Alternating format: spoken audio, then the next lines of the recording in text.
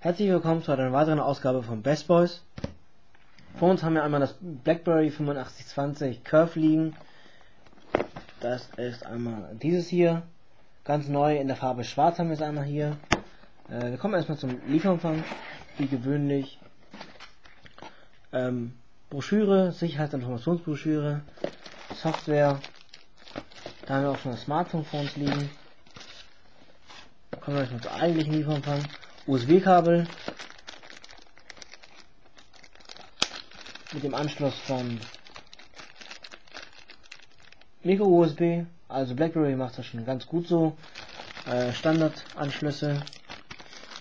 Dann haben wir noch einmal äh, einen Adapter für den, Deutsch, äh, für den deutschen Anschluss, für die deutsche Steckdose. Und Kopfhörer, äh, wie immer von BlackBerry aus Plastik. Das ist soweit leider der Fall. Hier haben wir nochmal wirklich, um den äh,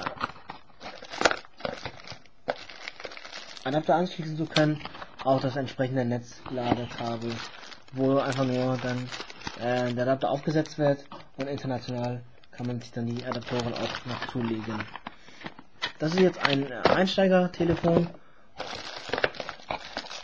Hier haben wir nochmal den Akku, den benötigen wir natürlich gleich nochmal.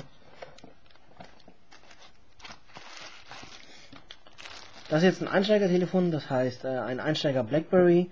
Äh, das erste Blackberry halt mit äh, keinem Trackpad, sondern ähm, einen optischen Trackpad halt. Also kein, kein, kein Drehrad äh, wie bei der alten Telefon, sondern nur halt so ein Sensorfeld, äh, womit man den Finger einfach hin und her wackeln kann. Wir kommen erstmal zum Aufbau und starten aber erstmal das Telefon. Wie ihr es von BlackBerry kennt, dauert es recht lange. Wir legen mal unsere Vodafone SIM-Karte rein, die auch im BlackBerry-Dienst verfügt. Der Akku ist jetzt 1100 mAh stark, äh, 1150 mAh stark, Verzeihung. Da könnt ihr es nochmal sehen. Äh, ist originaler natürlich von BlackBerry. Legen den mal rein. Ähm, eine Speicherkarte ist gleich eingelegt von 2 GB. Recht cool also, wenn man seine Musikdaten auslagern möchte. Das ist äh, wie immer äh, glänzend von außen, sieht aus wie Metall, ist natürlich aber Kunststoff. BlackBerry baut die besten Telefone, besten Smartphones für Business, die es gibt. Ähm, leider jedoch immer nur mit ähm, nicht so tollen Materialien. Bevor wir auf Andrücken startet das BlackBerry natürlich, wie es äh, sich gewohnt ist. Äh, zum Aufbau erstmal von der vorderen Seite natürlich eine Querztastatur, wie man das vom BlackBerry kennt. Dadurch ist BlackBerry berühmt geworden. Hier seht ihr es nochmal.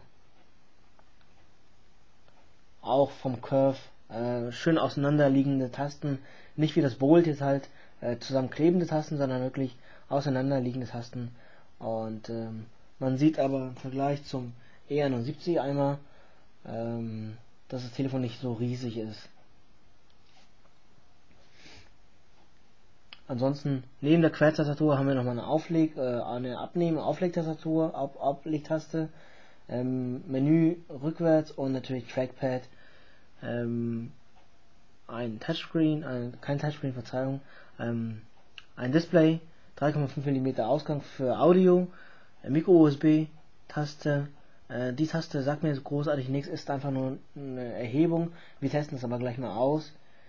Hier unten haben wir Mic. Auch nochmal Tasten.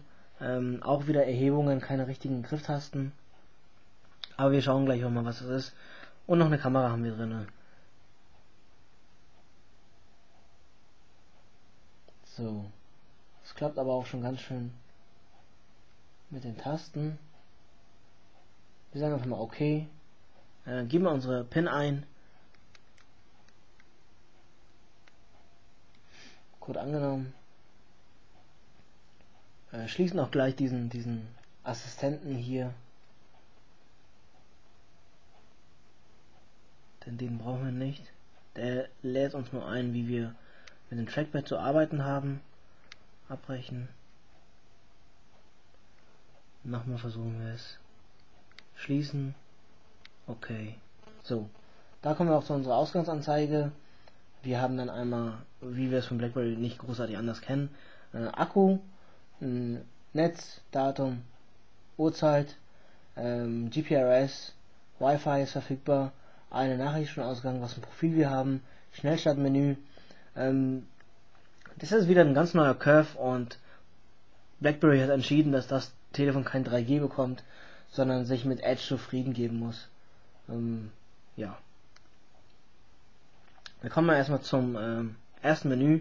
Hier sehen wir halt, wenn ihr mit dem hin und her gehen, eine E-Mail oder eine Nachricht, Kontakte, Kalender, Browser, von Live, Medien.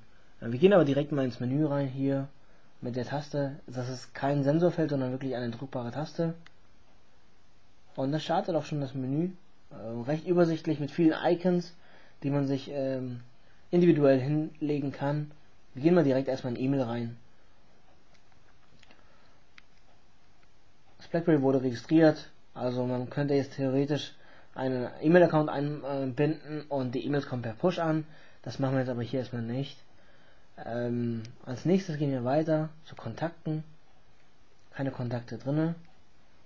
Ziehen das mal ein bisschen auf, sodass ihr besser sehen könnt.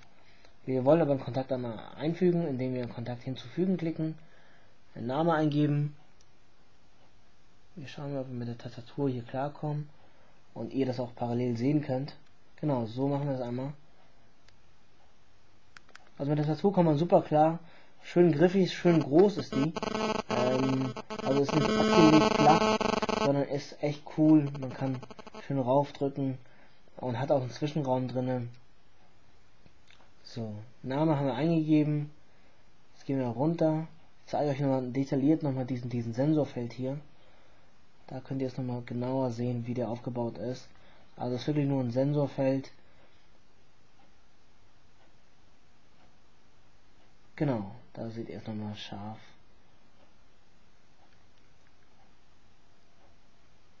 Also er lässt sich hin und her bewegen und dadurch ähm, ist er auch dann ja bewegbar, wie man das hier sieht müsst halt vorstellen wie beim ähm, Omnia oder bei der bei der bei dem Sony Ericsson X1 Xperia.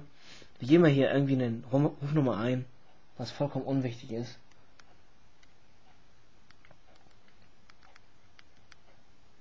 So.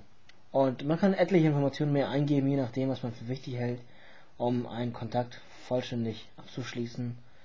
Ähm, und wenn wir sagen, okay, das, soweit ist alles vollständig. So möchten wir unseren Kontakt anlegen. Dann auf die Menütaste hier unten drücken und sagen Speichern. Das reicht dann. Dann haben wir es dann wie gespeichert in unserem Kontakt. Nehmen wir einfach auf Kontakt, auf Menü gehen, Kontakt finden und Termin finden. Und wenn wir sagen, okay, wir möchten Termin jetzt aber nicht mehr haben, dann müssen wir nicht jetzt unbedingt die Menütaste aufrufen und dann auf Löschen gehen, sondern wir gehen sagen einfach diesen hier Delete und dann wird Termin aber auch gelöscht, indem wir sagen Löschen und das war's. Als nächstes zum Kalender. Äh, hier haben wir jetzt eine Stunden-Tagesanzahl mit Stunden an sich. Wir gehen aber auf Menü und dann auf